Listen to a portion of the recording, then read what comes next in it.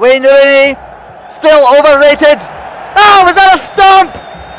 Here comes Ronaldo, helpfully pointing out to the ref that his best mate might have stood on someone's plums. It's a red card for the assassin faced baby. Let's have a look. Oh, that is diabolical. He got him right in the diabolicals. I mean, he's going to need a new ball bag after that. Cheerio. Uh, you're a ball bag too.